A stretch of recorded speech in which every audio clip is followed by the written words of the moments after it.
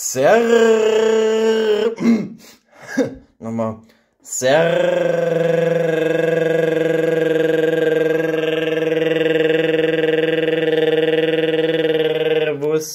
und herzlich willkommen zu einem weiteren eBay Sonntag. Ich habe die Wochen, äh, ich habe die Woche mal wieder Beschwerden erhalten über eBay Kleinanzeigen. Ich blende es mal hier kurz ein. Genau, könnt ihr kurz durchlesen. Äh, ja, das ist, sozusagen eine mystische Kaffeespirale. Es ist keine Milch, was da drin ist, deswegen nicht wundern, wenn ich gleich etwas rumschreien werde. Ähm, ja, und die Leute, die schicken mir sowas mit dem Appell, dass ich Sonntag halt mal wieder auf Ebay aufräumen soll. Da ist die Frage, wie räume ich jetzt am besten auf? Na, mit Kaffee und mit Sonntagsbratkartoffeln mit fünf Eiern, wo kein Eigelb drin ist, sondern nur das Eiklar. Hier nochmal zum Beweis, weil das Eigelb, ja, das muss nicht sein. Ich esse täglich äh, fünf Eier und so. Und wenn ich jetzt täglich fünf Eigelb mit dazu essen würde, ich weiß auch nicht, da habe ich irgendwie Angst, dass ich irgendwann selbst zum Ei werde. So, ja, ich bin bereit, okay. Ja, ich habe gesagt, ihr sollt euch nie wundern. Oh, habe irgendwas am Nacken. Oh, irgendein Insekt. Ich hab's nicht tot gekriegt. Egal.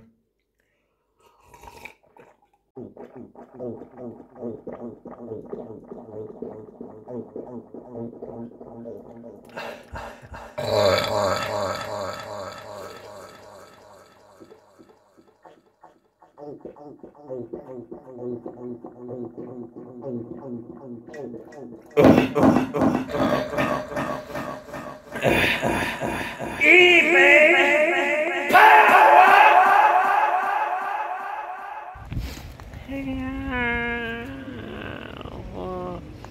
süßer Wurm auf vier Beinen. Bist du ein Wurm? Bist du ein Wurm? Hm. So. Ich bin der. Wa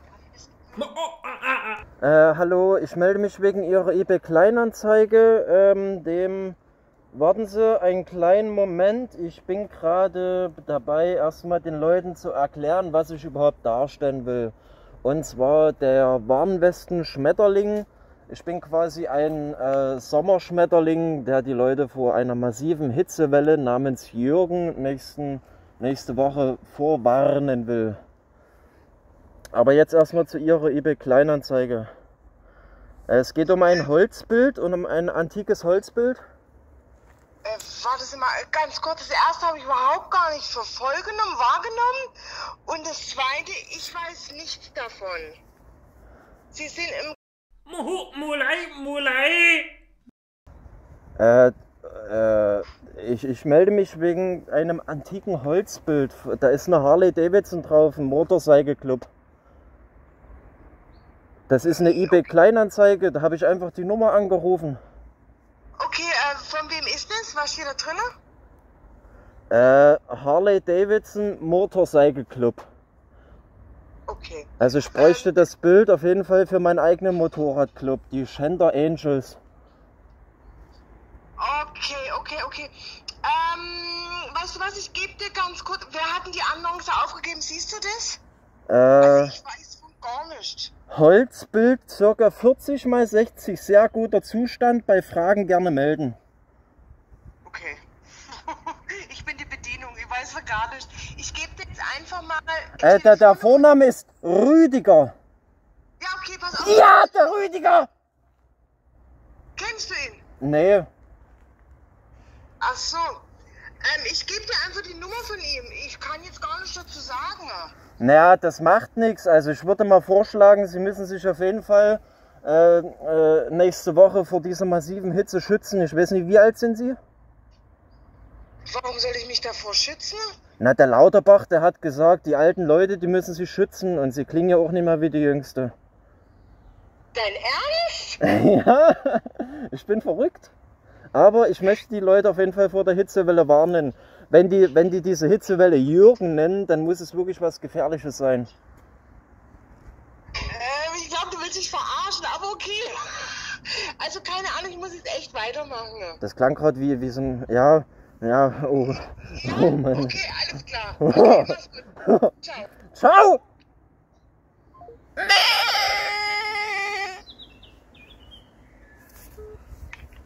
Ja, hallo? Servus, ich melde mich wegen Ihrer eBay Kleinanzeige der Gitarre von Yamaha. Gut, jetzt bin ich taub, aber ja, Ja, sorry. die können Sie gerne kaufen. Oh, sehr gerne. Naja, also ich verstehe nicht, was genau äh, die immer mit ihrem Yamaha haben. Also es gibt ja auch Soundboxen von Yamaha. Hat das was mit Musik zu tun? Ist das ein musikalischer Begriff Yamaha? Das ist die Marke, von der scheinbar die Gitarre ist. Okay, gut. Okay, dann versuche ich mich wieder zu beruhigen. Okay. Ja. Okay, und möchten Sie sie jetzt kaufen oder? Ja, eigentlich habe ich schon eine und ich habe noch nie drauf gespielt. Ich brauche neue Inspirationen. Okay, gut. Also wie gesagt, wenn Sie sie kaufen möchten, dann gerne. Für die neue Inspiration müssten Sie sich anderweitig umgucken. Ach, eigentlich wollte ich Ihnen nur einen schönen Sonntag wünschen. Ja, danke für Sie auch. Ja, und wir sitzen jetzt mit der Gitarre aus. Irgendwie müssen wir jetzt eine Lösung finden. Aber ich, Ja, sie ich, können sie gerne kaufen. ja, ich, ich rufe halt nie deswegen an, sondern eigentlich wegen was ganz anderem. Okay, und weswegen was? Naja, das ist ein bisschen schwierig auszusprechen. Das handelt sich um ziemlich kranke Scheiße.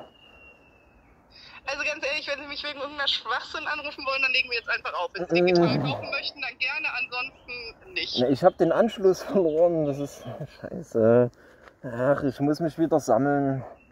Die, Okay, die, tschüss. die Wärme macht mich jetzt schon fertig. Es tut mir leid, ja, alles klar. Ach, verdammt nochmal. Äh, servus, servus. Ich melde mich wegen Ihrer Schlafcouch. Ja, Ja, ja, eBay Kleinanzeigen macht mich langsam sehr, sehr wahnsinnig. Weil, gleichfalls. wie bitte?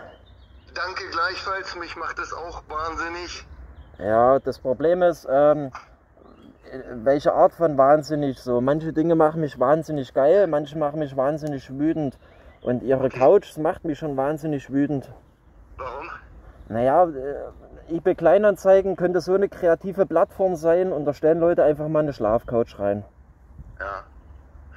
Ja, wa- was möchten Sie jetzt von mir? Na, irgendwas Kreatives, wollen Sie nie vielleicht mal was anderes reinstellen?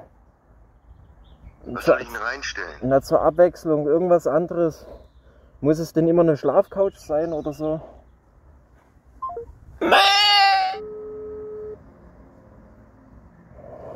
Ja, hallo? Äh, servus, ich melde mich wegen Ihrer eBay Kleinanzeige, dem gesunden Paar Tauben. Ja, genau. Also Das wegen, mein- wegen dem gesunden Taubenpaar. Ja. Welche? Na, die zwei gesunden, die Sie verkaufen möchten, die Tauben. Ja, diese schwarze meinen Sie. Ja, die, also die, die gesund aussehen. Also quasi. Ja, alle gesund, alles geimpft.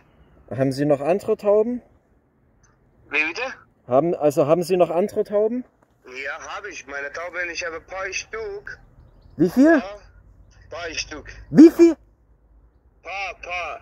Ah, ja, okay. Ja, da haben alles gesund und äh, Wa, wa, was, was heißt denn gesund?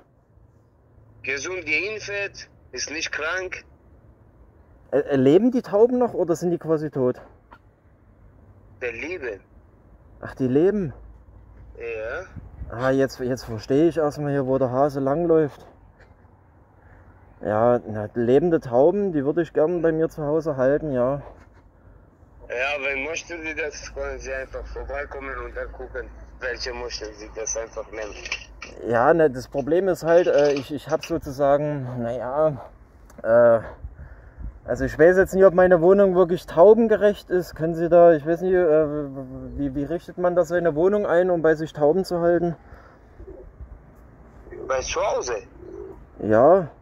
Waren, waren das, sind, das, haben Sie Garten? sind das Tauben im Hintergrund? Wie bitte? Kann ich mal die Tauben hören? Ich habe die gerade bei Ihnen im Hin- Hintergrund gehört. Ja, ich bin jetzt gerade bei meiner Taube.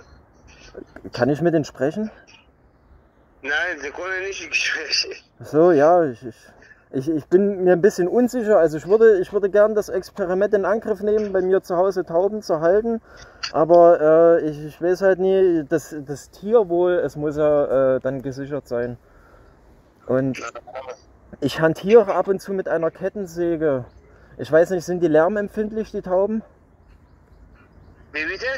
Ich hantiere äh, gelegentlich mit einer Kettensäge. Ich weiß nicht, wie, wie lärmempfindlich denn die Tauben sind. Oder wie reagieren die Tauben auf Technomusik? Was, was, suchst du? Ich suche Tauben, die. Aber du suchst Taube, hast du gekifft oder etwas? Nein, ich möchte Tauben bei mir zu Hause halten. Ja, aber du sagst, Tauben kann tanzen oder so Techno machen. Technomusik, na, wenn ich rave, dann will ich, dass es den Tauben auch dabei gut geht. Ich weiß aber nicht, wie Ja, aber empfinden. ich glaube, du hast jetzt gerade etwas, hast du genommen oder hast du gekifft. Ich habe nicht gekifft. Ja, möchtest du kaufen oder willst du nur so ein bisschen? Nein, im Endeffekt will ich einfach frei wie die Tauben sein. Und wenn ich sie bei mir zu Hause halte, dann lerne ich wahrscheinlich äh, ein freier Mensch zu werden. Ja, Tauben ist gute Tiere. Willst du dann kauf einfach. Oh, ja, ich würde auf jeden Fall, ich muss halt erstmal gucken, ob die Tauben, was ist denn, wenn die sich bei mir nie wohlfühlen? Kann ich die dann auch zurückgeben oder soll ich den einfach freilassen? Warum freilassen? Die Tauben, du kannst sie wieder im Internet verkaufst du. Ach so, Ja. ah, das Ist bedeutet, keine Stadttauben. ach, keine Stadttauben, sonst hätte ich jetzt ein riesiges Geschäft gemacht daraus. Ja. Sie haben mich ja jetzt quasi auf die Idee gebracht, einfach willkürlich Tauben zu fangen und dann zu verkaufen. Der Taubenhandel. Fuck, das ist eine. Junge, ich, ich, ich werd reich. Mit, reich mit Tauben.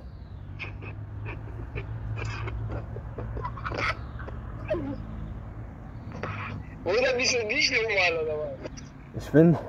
Sie, sie, sie, sie, sind, sie, sind ein, sie sind Gold wert. Sie haben mich gerade auf eine Wo wohnst du? Guck mal, wo wohnst du? Ich komme aus Dresden. Alter, dann ist so weit, okay? Ach so. Alter, ich habe jetzt viel zu tun. Der Taubenrave. Der Taubenrave wird nach dieser eBay Kleinanzeige kommen. Ich bin, ich, Sie haben mich gerade so verfickt glücklich gemacht. Ich liebe Eine Sie. Frage, Ich lieb- hast du gekifft oder hast du... Nein, ich, ich habe ich hab einen ganzen Bottich Kaffee getrunken. Oder bist du besoffen? Nee, Kaffee, Kaffee, Koffein. Koffein ist, das, ist die neumodische Droge. Oder hast du, Koffein. Oder hast du Tramadol genommen oder hast du... Gu- Ich bin traumatisierter Koffein-Junkie. Ah, alles klar. Bist du Russe? Nein, kein Russe. Gottes Willen. Ich, ich habe mal mit einem äh, ich habe mal mit einem äh, Russen, der, der hat Steroide genommen, mit dem habe ich damals in einer WG in Gorbitz gewohnt, das ist kein Scherz. Schau dort an Alexei, falls du das sehen solltest. Der hat mich mal fast erwürgt auf seinen Steroiden, weil ich immer besoffen die große Fresse zu denen hatte. Also das sind wahre Geschichten in Gorwitz, das waren Zeiten. Nee, ich, ich, Okay, guck mal, Kollege. Ich habe jetzt keine... Nicht so viel Zeit. Ich ja, alles gut, ich will Sie gar nicht weiter belästigen. Ich bedanke mich einfach nur, dass Sie mich auf die Idee gebracht haben. Ciao, mach's gut. Ciao, danke.